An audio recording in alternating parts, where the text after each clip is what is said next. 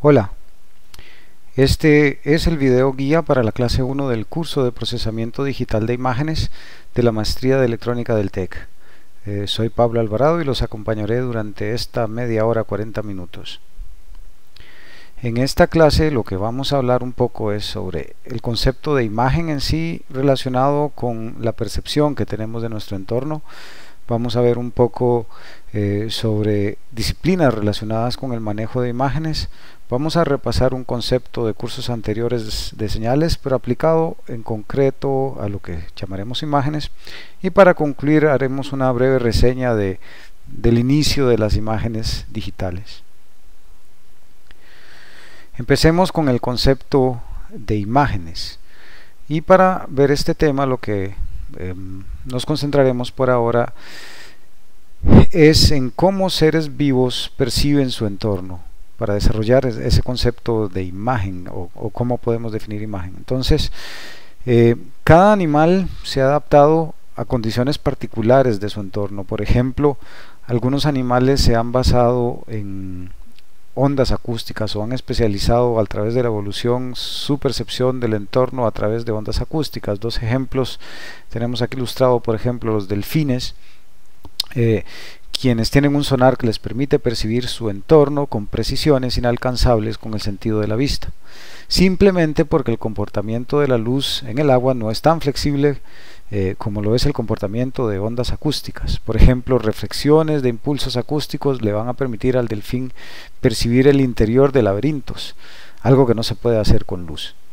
Eh, otro ejemplo bien conocido es la familia de los murciélagos, em, que sabemos perciben por medio de sonar ultrasónico eh, en la noche donde hay poca luz y tienen habilidades de, para la caza utilizando este sonar impresionantes. Bien, otros animales perciben su entorno principalmente a través del espectro de luz visible. Entonces aquí vemos cuatro tipos de animales muy interesantes, por ejemplo, eh, las arañas, que tienen de 4 a 8 ojos, eh, tienen percepciones visuales de su entorno de hasta 360 grados en el campo visual. Han desarrollado técnicas muy interesantes para detectar la distancia a la cual se encuentran sus presas por medio de desenfoques. Otro animal muy interesante es este camarón mantis, que tiene una percepción cromática impresionante eh, podríamos decir que es cuatro veces superior a la de los humanos porque este animal tiene 12 em, tipos de sensores cromáticos. Mientras que los humanos tenemos solo 3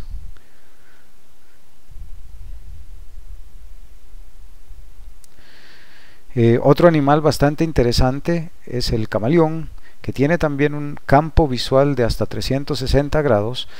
Em, eh, y este animal también tiene una percepción 3D de alta precisión que le permite atacar a su presa exactamente a la distancia donde se encuentra. Otro animal impresionante es el águila, que tiene una resolución tal que le permite divisar animales a kilómetros de distancia para poder preparar su ataque. Bien, eh, nos interesa por supuesto ver el caso particular de la percepción en primates. Eh, de hecho, mucho del conocimiento actual neurológico de cómo funciona el sistema visual humano se ha derivado de estudio del sistema visual en primates.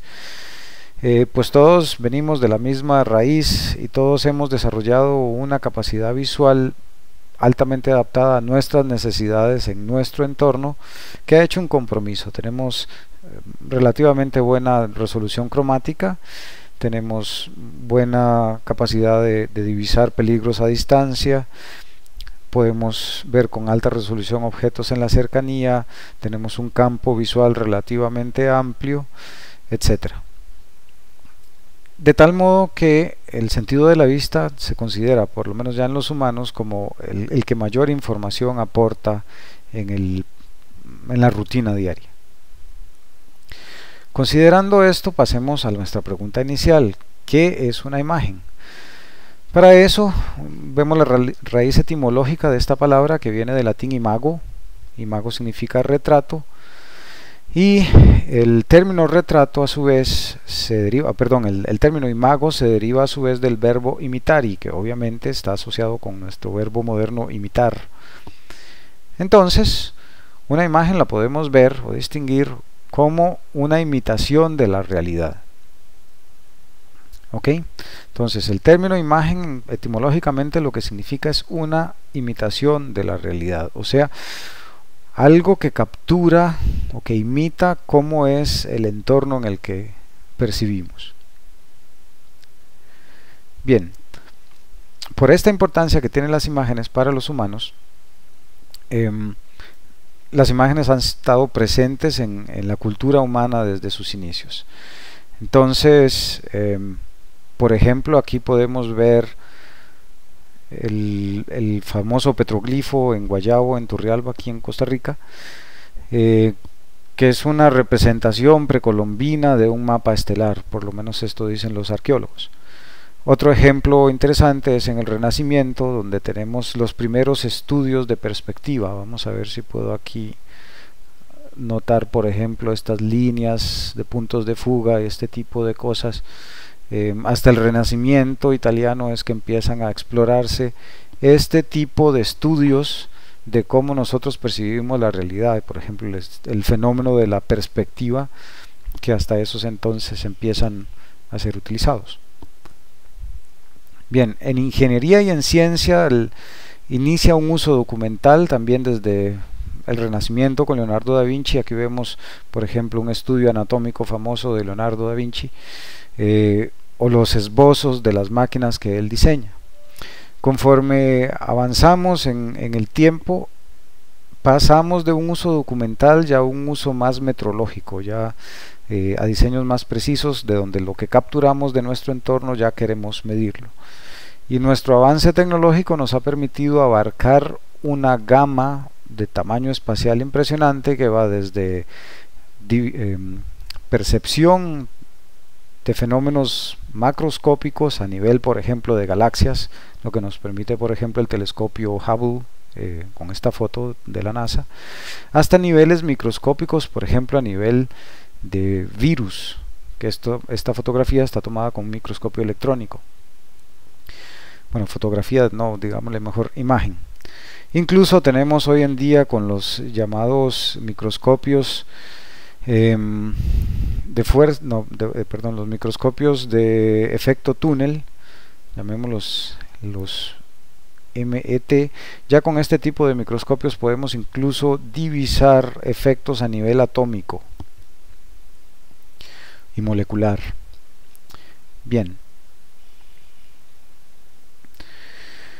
Por este interés que tiene o, la cantidad de información que nosotros humanos extraemos del entorno, eh, se han creado una gran diversidad de disciplinas, primero independientemente, pero ya hoy en día diferentes autores han empezado a utilizar el término visualística para em, englobar a todo lo que tiene que ver con el estudio de las imágenes. Entonces, por un lado tenemos em, el área de neurología que estudia por ejemplo cómo los humanos o animales empiezan a percibir su entorno a través de la visión, en qué momento del proceso del desarrollo humano se, desarrollan capacidades específicas de visión, por ejemplo cuando empieza a verse la tercera dimensión, cuando empezamos a distinguir colores, ese tipo de cosas. Em, además la psicología cognitiva nos permite o estudia cómo reaccionan los humanos eh, y el cerebro y la parte neurológica, cómo, cómo funciona todo ese conjunto ante impulsos visuales. Tenemos un lado más artístico que se encarga de, además del arte y de las expresiones artísticas basadas en imágenes, eh, tenemos toda la parte de comunicación visual, publicidad, cómo usar imágenes en impactar personas de, en alguna manera deseada. En este curso, por supuesto, lo que más nos interesa es la parte de la visualística computacional, donde intervienen fenómenos físicos, matemáticos, computacionales y electrónicos para la manipulación de imágenes, ya sea tanto para generarlas como para extraer información de esas imágenes. Esta parte de visualística computacional eh, englobémoslo de esa manera, ha tenido un desarrollo, un auge en los últimos años, principalmente eh, debido al avance de los computadores. Aquí conocemos muy bien la famosa ley de Moore, que nos dice que prácticamente cada dos años está duplicando el número de transistores en, en, un microprocesador. Esta duplicación de transistores ha traído consigo duplicación de la cantidad de cálculos por unidad de tiempo que pueden ser realizados. Eh, las imágenes contienen mucha información que ha requerido esta cantidad de, procesamiento para poder, eh, digamos, difundir el uso de complejos algoritmos del procesamiento de imágenes, a tal punto que ya hoy en día en dispositivos móviles es normal el manejo de imágenes, algo impensable en, los años 80, por ejemplo, del, siglo pasado. Em, bien, este avance de tecnología ha, permitido em, automatizar el tratamiento de imágenes en sí, es decir, por ejemplo, fotografías como tales, pero también ha permitido introducir ya algoritmos que manejan la información contenida en las imágenes. Así, por ejemplo, tenemos ya estándares como el MPEG 7, que este estándar eh, lo, que, lo que atiende es a describir el contenido en imágenes y en videos. Bien, la cantidad de problemas en visualística computacional la podemos partir en dos problemas concretos. El primero serían los llamados problemas directos el segundo conjunto los problemas inversos. Esto tiene que ver con la dirección eh, desde la perspectiva de la imagen en la que nos movemos.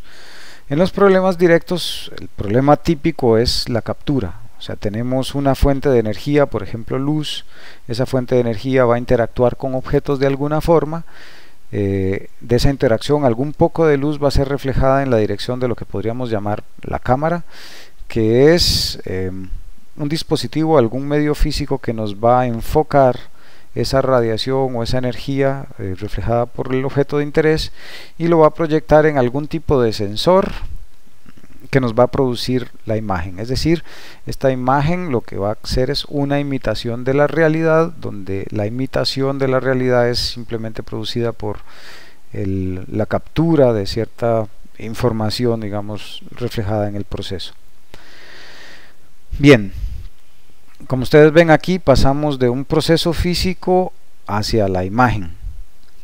Entonces eso es lo que llamamos un problema directo. Uno que va, algún problema que va a terminar en una imagen.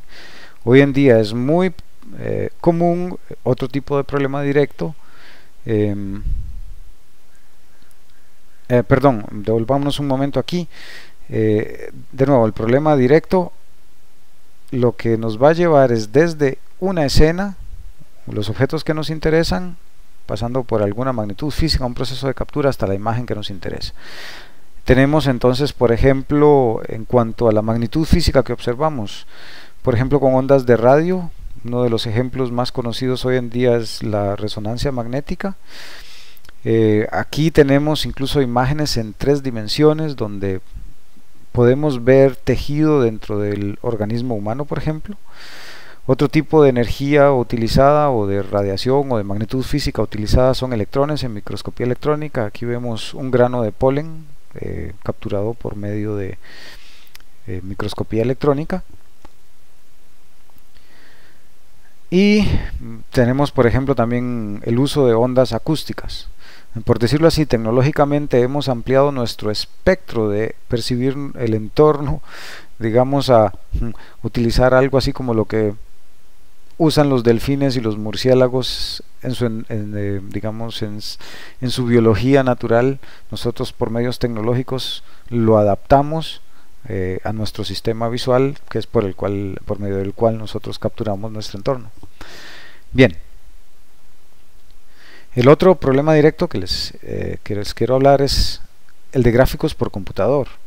Es un problema directo también porque al, al finalizar el Em, el proceso de captura, entre comillas, eh, lo que vamos a tener es una imagen. Entonces partimos de un modelo de la realidad, un modelo matemático, y por medio de técnicas de render, de modelado de la realidad, podemos sintetizar aquí, por ejemplo, en este, lo conocen todos supongo, la película Avatar, a modelos bastante realistas que son, sin embargo, nada más un proceso de simulación de la realidad, del entorno. Ok, entonces, problema directo, partimos de una realidad virtual o, de, o del entorno real y terminamos con una imagen. En el problema inverso, la idea es otra. La idea es, tenemos imágenes que son imitaciones de nuestra realidad, de nuestro entorno, y de esas imágenes queremos extraer cierta información de forma automática. Entonces, em, diferentes autores eh, definen diferentes disciplinas. Aquí voy a explicar, digamos, todas las que uno encuentra hoy en día, más o menos. No todos los autores eh, distinguen entre estos límites. De hecho, mi opinión personal se las tira en un momento. Em, el punto de partida será siempre una imagen en los problemas inversos, por lo menos en los problemas inversos relacionados con procesamiento de imagen, todo esto se aplica de forma similar a, digamos a procesamiento de audio y otro tipo de, cosas pues bien, entonces de la imagen, por ejemplo, en la disciplina del procesamiento de imágenes, de una imagen va a producir otra imagen. Sin embargo, en esta imagen se han eh, seleccionado, digamos, diferentes atributos. Entonces, digamos, podemos eh, eliminar ruido, podemos amplificar bordes, aumentar la definición de, ciertos detalles, etcétera, etcétera. Entonces el procesamiento de imágenes siempre va a tener como entrada una imagen y va a producir otra imagen. Eh, contrasta el procesamiento de imágenes con lo que llamaríamos análisis de imágenes. En el análisis de imagen, bueno, entra una imagen al proceso y van a salir estructuras de datos que no necesariamente son imágenes. Por ejemplo, pueden aparecer líneas, pueden aparecer ciertas áreas que denotan cierto comportamiento. Sin embargo, estas estructuras de datos que salen del análisis de imágenes son a relativamente bajo nivel. O sea, no le podemos asociar exactamente eh, conceptos del entorno del, que, del cual fueron capturadas las imágenes a esas estructuras de datos. Simplemente tenemos líneas, bordes, eh, áreas, regiones, ese tipo de cosas, em, pero que tal vez solo procesos posteriores pueden definir si ese borde es un borde dentro de un mismo objeto o un borde eh, entre dos objetos diferentes. Con respecto a eso, seguimos en la siguiente disciplina, donde la idea es que entre la imagen se haga que adentro incluso procesos de análisis em, y no, ya nos, nos devuelva el, proceso eh, conceptos semánticos, o sea, significados de lo que tiene esa imagen. Así que ya se puede decir ciertos bordes si pertenecen a determinados objetos, etc. Em, ven aquí algo interesante y es que el análisis de imagen va a producir o va a necesitar siempre del procesamiento de imágenes para hacer ese análisis. La, comprensión de imágenes va a ser análisis para poder asignarle posteriormente también estructuras semánticas. Tenemos otra área que es el, la visión por computador, que va a usar técnicas de comprensión de imágenes, eh, donde la idea es al final tomar algún tipo de decisión. Okay, por ejemplo, se toma la decisión si la cara que está en esa imagen pertenece a cierta persona o incluso decir de qué persona pertenece esa cara que está en la imagen o por ejemplo también en el área médica poder distinguir en una cierta radiografía si algo que se está viendo es o no un tumor. Eh, bien, estas tres áreas en realidad no, sus límites son muy difusos. Entonces, algunos autores incluso llaman a estas tres áreas simplemente análisis de imagen, otros autores le llaman a estas tres áreas visión por computador y otros autores le llaman a las tres áreas comprensión de imágenes. De hecho, la mayoría de libros de visión por computador van a cubrir las cuatro áreas anteriores y un poco de temas de, por ejemplo, clasificación, que está más relacionado con el reconocimiento de patrones, eh, que es necesario para poder tomar aquí decisiones. Entonces pongamos por aquí reconocimiento de patrones.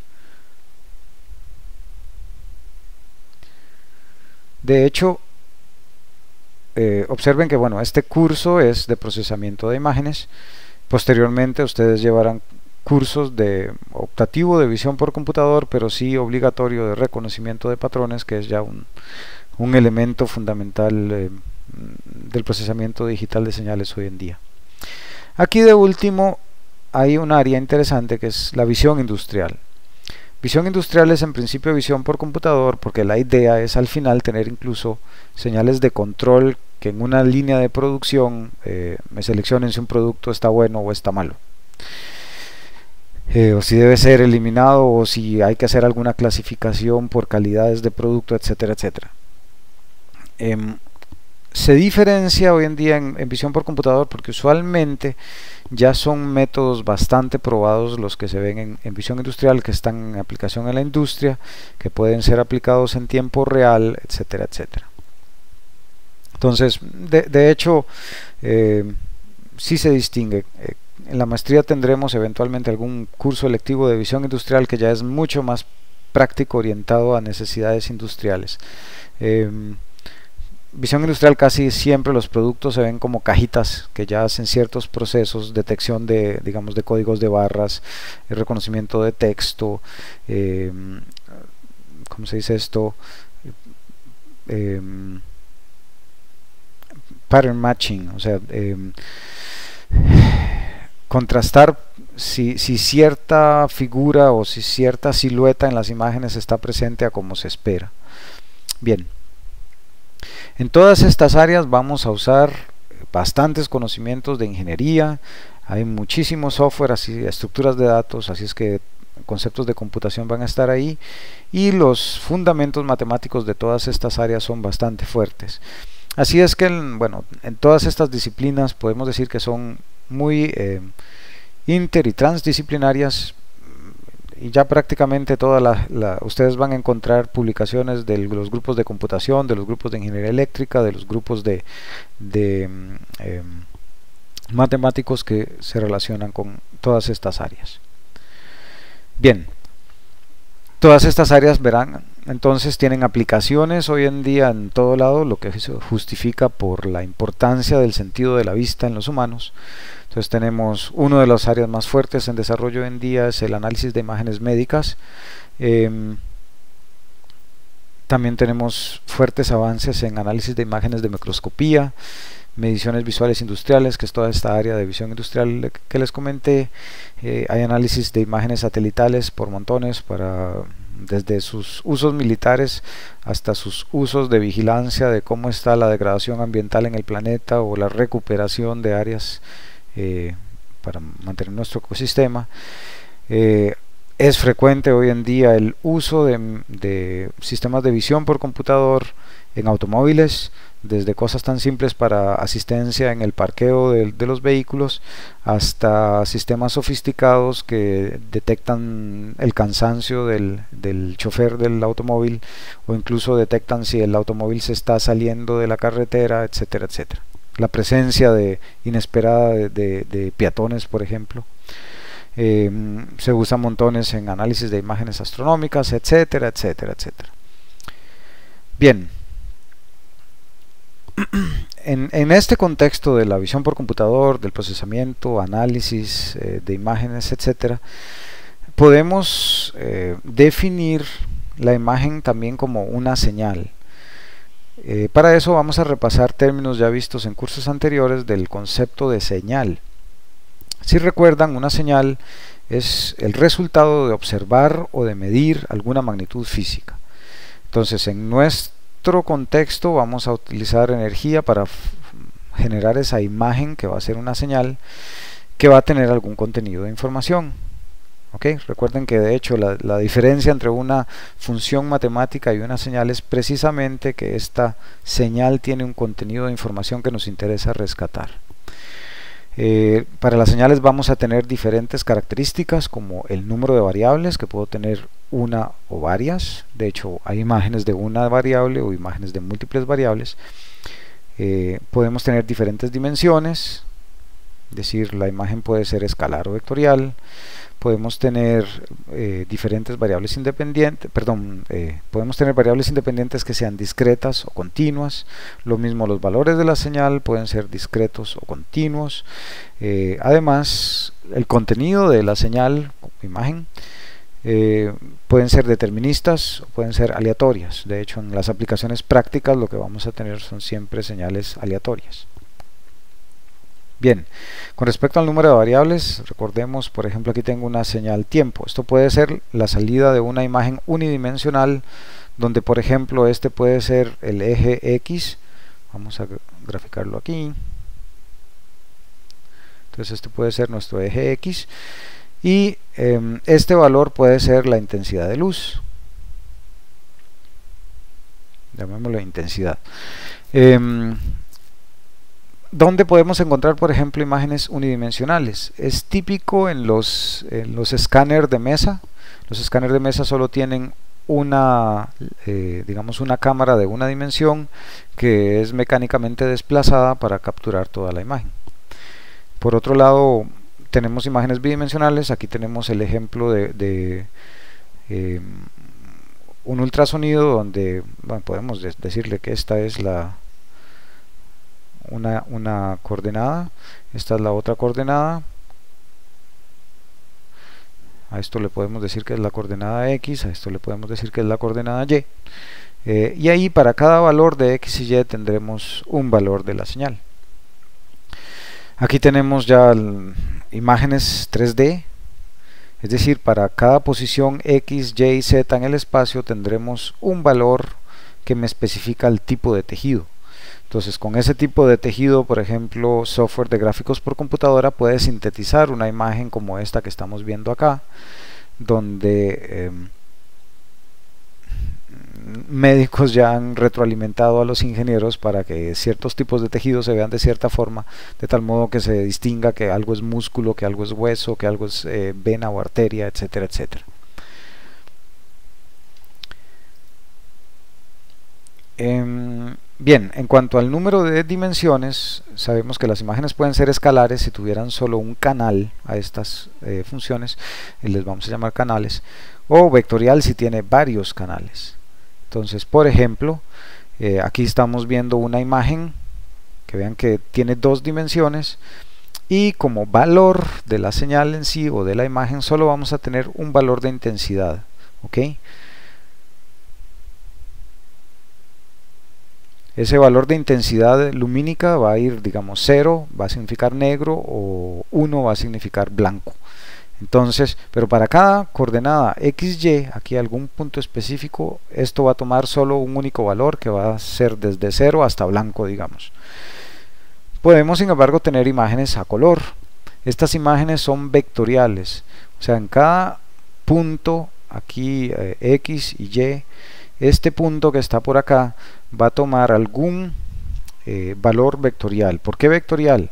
Porque ese píxel que está ahí en realidad va a tener una componente roja, una componente verde y una componente azul. De nuevo, a estos eh, tres valores aquí le vamos a llamar canales que unidos de algún modo nos van a generar la señal completa. O sea, cada píxel tiene un valor rojo, un valor verde y un valor azul en, este, en esta representación, por ejemplo.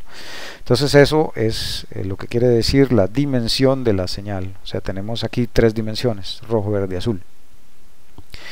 Bien, las variables independientes pueden ser continuas o discretas. En procesamiento de imágenes em, es difícil hablar un poco de imágenes continuas, puesto que incluso los sistemas biológicos discretizan eh, la información de las imágenes. O sea, nosotros tenemos en los ojos, eso lo vamos a ver después, eh, digamos sensores fotosensibles que son discretos sobre la retina. Entonces ya ahí estamos pasando a señales discretas. Eh, sin embargo, podremos utilizar, digamos, como el origen de las imágenes estas digital o discretizadas que tenemos, va a ser una señal continua tomada del entorno. Bien, entonces de nuevo, esto, la señal es continua o discreta, se refiere a su variable. Aquí tenemos tiempo, pero podemos decir mejor que es espacio. Llamémosle S por space en inglés. Bien, también el valor de la señal puede ser continuo o discreto. Eh, referido aquí, por ejemplo, esta imagen, esta, esta función negra es una función eh, continua en sus valores, pero esta señal roja es discreta.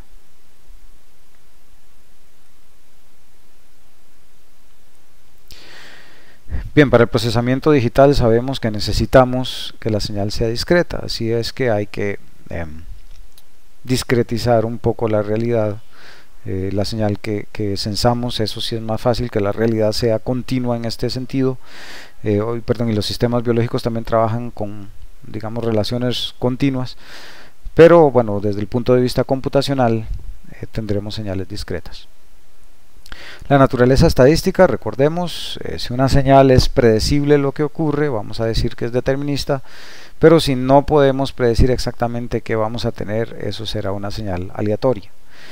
Eh, las señales aleatorias por su lado las vamos a caracterizar como señales estacionarias si sus parámetros estadísticos permanecen constantes o no estacionarias si sus parámetros estadísticos varían. Por ejemplo, si el valor promedio y la varianza de una señal se mantienen constante, pues es estacionaria.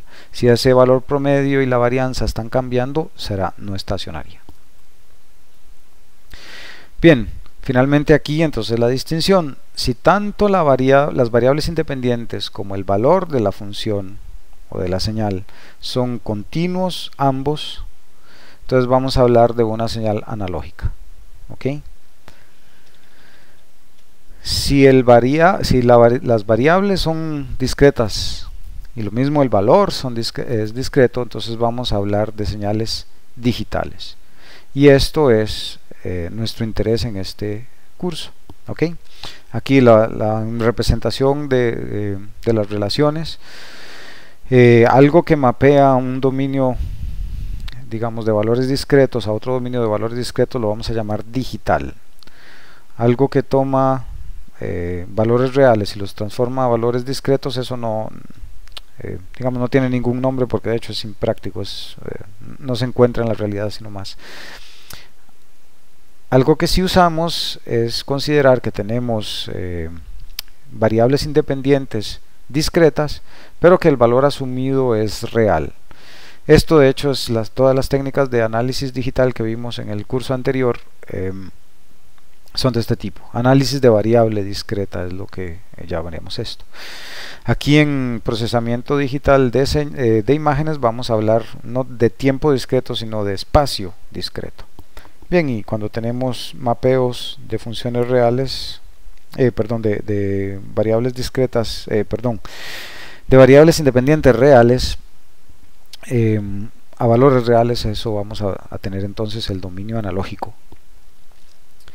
Bien, entonces en este curso de análisis digitales vamos a concentrarnos en señales de dos variables discretas eh, observen por ejemplo la, señal que les enseñé en tres dimensiones.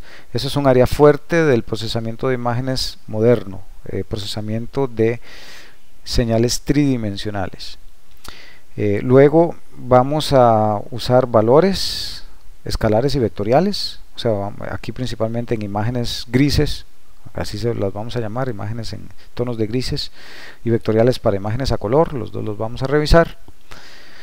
Eh, eso sí, como, vamos a trabajar con señales digitales, tanto las variables independientes como los valores van a ser discretos y vamos a trabajar tanto con eh, señales de naturaleza determinista para dar bases teóricas muy elementales, pero principalmente vamos a trabajar eh, con imágenes aleatorias. Bien. Ustedes dirán, el curso va a ser entonces muy parecido al procesamiento digital de señales temporales que vimos la vez pasada, pues resulta que no. El procesamiento de imágenes difiere considerablemente eh, y en el transcurso de las dos elecciones vamos a ir viendo que es bastante diferente principalmente porque usamos bastante procesamiento no lineal. Bien. Para terminar la clase, un par de comentarios sobre la, historia de las imágenes digitales. Aquí vemos el ojo de Elena, eh, Lena, si no lo conocen, pueden buscar en la Wikipedia, es una de las imágenes más utilizadas en procesamiento de imágenes, donde aquí estamos viendo los píxeles separados, eh, típico de una imagen digital. Bien, las imágenes digitales no tienen ni tan siquiera 100 años, donde el... Eh, bien, aquí estamos viendo en el año 1921 una de las primeras imágenes digitales realizadas. Esto es tomado de un paper muy interesante de McFarlane eh, de 1972, donde hace un estudio histórico de cómo surgieron las imágenes digitales. Esta imagen fue producida en 1921 con un teletipo eh, donde se usaron caracteres especiales, o sea, en vez de letras se les pusieron como tonos de grises al, eh, teletipo, creo que cinco niveles de grises es lo que se usaba por allí. Y, por qué en 1921 con tantísimas limitaciones se le ocurrió a la gente empezar a, producir imágenes de este tipo? Todo tiene sus orígenes en el periodismo. la gente quería poder pasar velozmente imágenes desde eh, ambos lados del océano, tanto desde Europa hasta este lado del continente como desde aquí hasta Europa. Entonces, prácticamente el periodismo es el que impulsó eh, que se mm, que se creara la tecnología para producir imágenes digitales. Entonces en el 21 tenemos esto. Eh, una de las técnicas mejoradas o uno de los hitos fue un año después, 1922, eh, con esta imagen reconstruida también con cinco tonos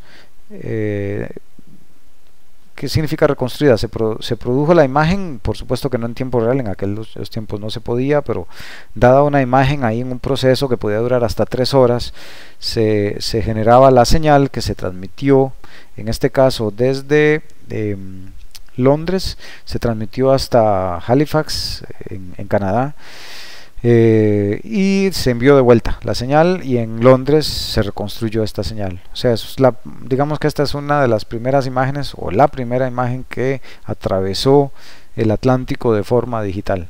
Bueno, en realidad la señal es analógica, pero eh, la imagen en sí está cuantificada si es que la llamamos digital. Esto tenía como 5 valores de gris y una resolución relativamente baja, ahora no tengo el dato. Pero imagínense, habría que esperar tres horas para poder tener esta imagen. Em, algunos años después ya se había mejorado el sistema, ya que tenemos una foto famosa de, los generales Pershing y Fogg, que mm, protagonistas de la Primera Guerra Mundial de los aliados. Eh, ya esta imagen tenía 15 tonos y ya fue transmitida desde Londres hasta Nueva York en, en 1929.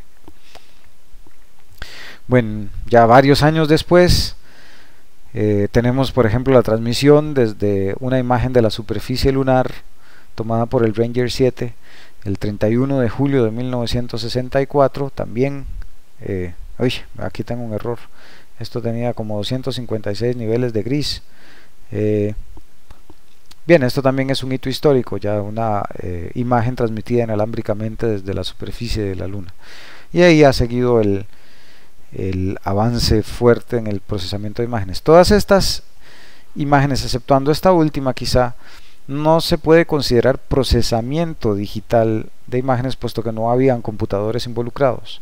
Son imágenes digitales en el sentido de que está cuantificados tanto su espacio como los valores de la señal que la señal toman.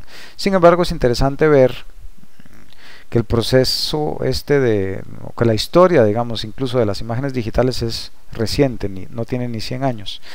Es a partir de finales de los años 80 que la capacidad computacional ya permite empezar a, procesar digitalmente las señales de manera eh, difundida.